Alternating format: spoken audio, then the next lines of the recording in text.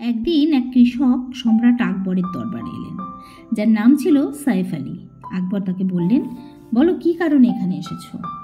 সাইফ আলী বলতে লাগে, পানহা, ছয় মাস আগে আমার স্ত্রী মারা গেছেন, যার কারণে আমি আমার জীবনে সম্পূর্ণ একা হয়ে গেছি। মাত্র ছয় মাস আগে আমি আমার জীবন খুব সুখে কাটাচ্ছিলাম। তারপর হঠাৎ আমার স্ত্রী মারা গেল। আমার এখন এমন কোনো সন্তানও নেই যার সমর্থনে আমি আমার বাকি জীবনটা কাটাতে পারি। আকবর বললেন, এসব শুনে আমাদের খুব খারাপ লাগছে।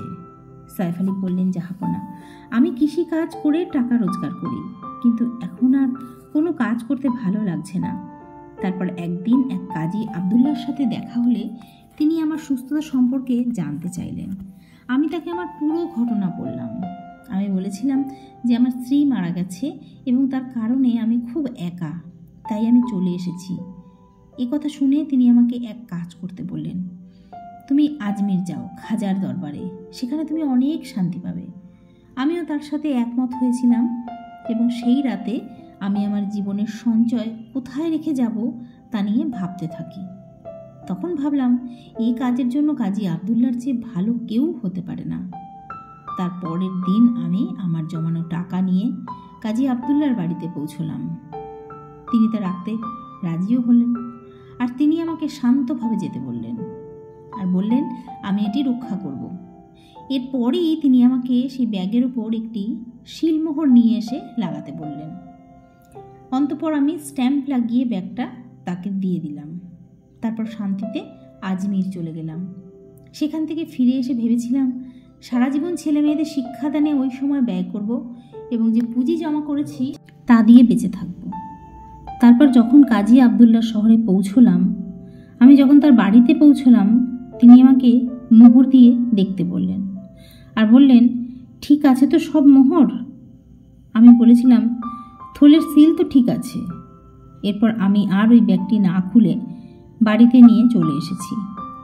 আমি বাড়িতে এসে ব্যাগটি খুলে দেখি সোনার মুদ্রার পরিবর্তে সেখানে পাথর ভরা ছিল। তখন আমি কাজী আবদুল্লার কাছে গিয়ে বললাম, আমি তোমাকে স্বর্ণ মুদ্রা দিয়েছিলাম। তাহলে সেগুলো পাথরে পরিণত হলো কীভাবে? কাজী বললেন, তুমি যেমন আমাকে ব্যাগটি দিয়েছিলে, আমিও ঠিক তোমাকে তেমনভাবে ফিরিয়ে দিয়েছিলাম। তারপরও তুমি আমাকে চুরির জন্য দায়ী করার অভিযোগ দিচ্ছ? আমরা উভয়ে অনেকক্ষণ তর্ক করলাম। এবং কাজী আবদুল্লাহ আমাকে তার বাসা ছেড়ে যেতে বললেন। এখন আমি কোথায় আশ্রম পাব? আর আমার এখন কি করা উচিত? আমি এর উপযুক্ত বিচার চাই, হুজুর। আকবর বললেন, ঠিক আছে। আমি দেখছি। এরপর আকবর বললেন, কি বলো বীরবল? তুমি কি চিন্তা করলে? বীরবল বললেন, যাহাবো না। আমি কিছু জানতে চাই। তাই আমার কিছু সময় দরকার। বীরবল পরক্ষণে সৈফ আলীর কাছে থেকে ওই ব্যাগটি নিয়ে পরীক্ষা করে আর বীরবল ওই ব্যাগটি সৈফ আলীকে ফিরিয়ে দিয়ে বলে যাহাবো না এনাকে এবার ছেড়ে দিন। আর আমার দুদিনের সময়ের দরকার। এটি শুনে আকবর বললেন হ্যাঁ হ্যাঁ বীরবল, তুমি অবশ্যই সময় নাও। তোমাকে তোমার উপযুক্ত সময় দিচ্ছি। আর শোনো সৈফ আলী, তুমি যা বলেছ তা যদি মিথ্যা প্রমাণিত হয়, তবে তোমাকে এক বছরের জন্য জেলে রাখা হবে। এই সিদ্ধান্ত না নেওয়া পর্যন্ত তুমি আমাদের অতিথি থাকবে। তারপর বীরবল সত্যের সন্ধান করতে লাগলেন এবং ইচ্ছাকৃতভাবে তার একটি জামা ছিঁড়ে তার চাকরকে ডেকে শহরের সেরা দর্জির কাছ থেকে কাজটি করাতে বললেন। নিত্য বললেন, আমি এই মুহূর্তে শহরে গিয়ে একজন ভালো দর্জি খুঁজব? এবার চাকর সেরা দর্জি খুঁজতে বের হয়। কিছুক্ষণ পর চাকরটি জামা সেলাই করে নিয়ে আসে। বীরবল ওই জামা দেখে বললেন, বাহ কি সুন্দর কাজ করেছ। জামাটাও তো এত তাড়াতাড়ি সেলাই করে দেওয়া হয়েছে। আর তার চিহ্নও খুঁজে পাওয়া যাচ্ছে না। বাহ, কি অপূর্ব কারিগর সে। আচ্ছা তুমি এবার সেই কারিগরের নাম বলো। বৃত্ত বললেন, মহাশয়, তার কথা অনেকেই জানতো এবং তাকে খুঁজে পাওয়া খুব কঠিন ছিল না। মহাশয়, তার নাম গোপাল। এটি শুনে বীরবল বললেন, আপনি ওই দর্জিকে ডেকে নিয়ে এসো। আমাকে আরও ছিঁড়া জামা সেলাই করতে হবে। এরপর পরদিন আকবরের আদালতে সিদ্ধান্ত হয়, আকবর বললেন, বীরবল, অপরাধীকে খুঁজে পেয়েছেন? বীরবল বললেন হ্যাঁ যাহাবো না আমি অপরাধীকে খুঁজে পেয়েছি।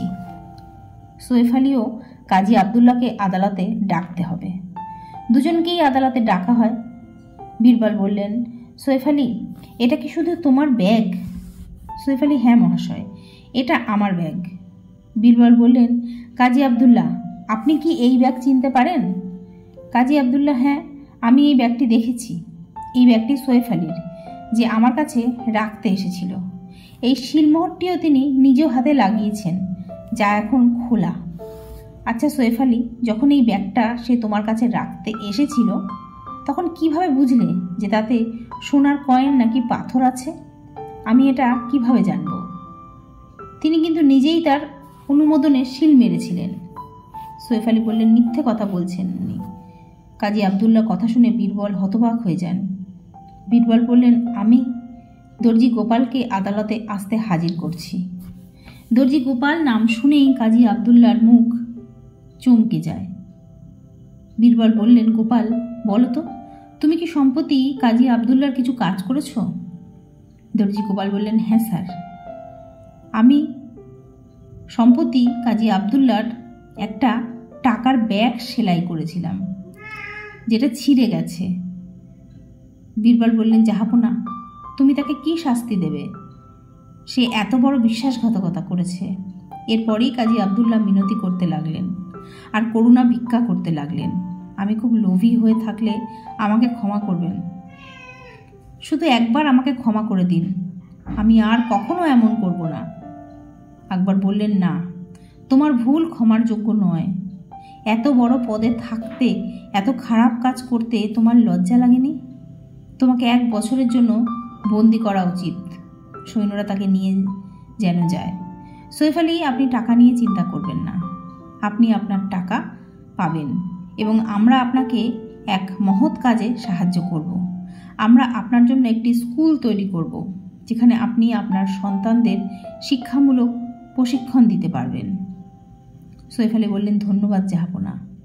আর ধন্যবাদ, বীরবল, আমাকে সমর্থন করার জন্য। আকবর বললেন, সাবাস, বীরবল। আচ্ছা বলুন তো, কাজী আবদুল্লাহ যে অপরাধী, তা আপনি কীভাবে বুঝলেন? বীরবল বললেন সৈফ আলীর কাছ থেকে কথা শুনি যে কাজী আবদুল্লাহকে ব্যাগটি সিল করে দিতে বলেছিলেন। তাই আমি সৈফ আলীকে ব্যাগটি সিল করে চেক করার জন্য একটি ব্যাগ চেয়েছিলাম। আমি বুঝতে পেরেছি যে সিল ছেঁড়া ছাড়া অন্য কোনো উপায়ে টাকা তোলা হয়েছে নাকি। যখনই দেখলাম ওই থলিতে খুব সুন্দর এক সেলাই ছিল, তখন বুঝলাম এটি একজন দক্ষ দর্জির কাজ। তাই খোঁজ ছিল যে ভালো এক দক্ষ দর্জির খোঁজ করতে হবে। এরপরই আমার এক ভিত্ত সেই খোঁজ করে ফেলে। এটি শুনে আকবর বললেন, বাহ, বীরবল, বাহ! আপনি আবার একটি সফল উদাহরণ স্থাপন করেছেন। ধন্যবাদ। জয় শ্রীকৃষ্ণ।